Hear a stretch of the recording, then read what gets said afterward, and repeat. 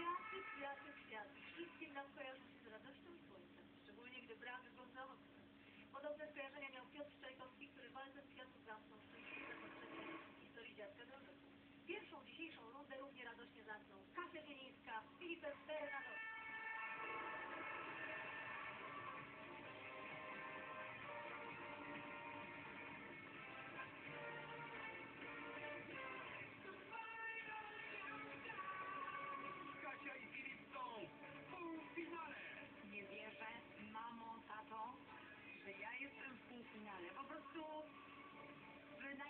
najlepszych nagród nie spodziewała.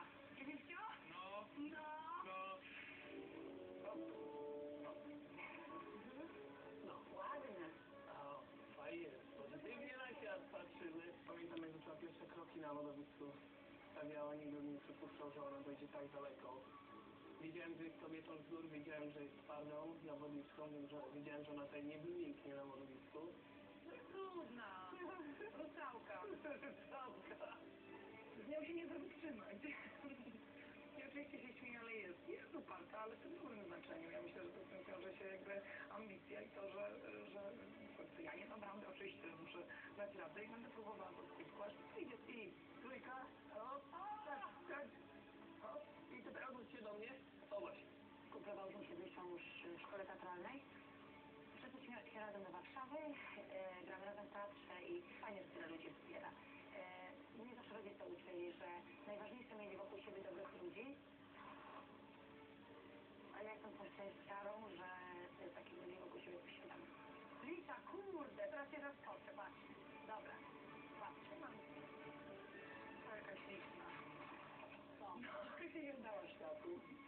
Mi się udało, już nie udało się, bardzo się udało. Tak chcemy w trasce przekrutnej, mówimy, Lisa, się udało się. Udało się, ale jak mi się udało? Ale jak? Ale jak się udało? Ale jak? No, no ja to jest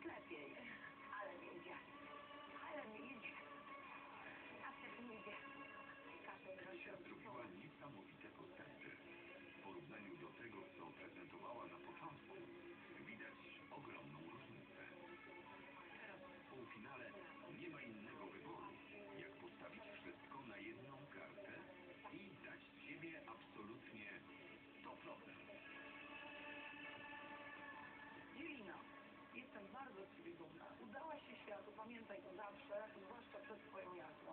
Będzie pięknie, trzymam kciuki, bądź sobą, ciesz się, baw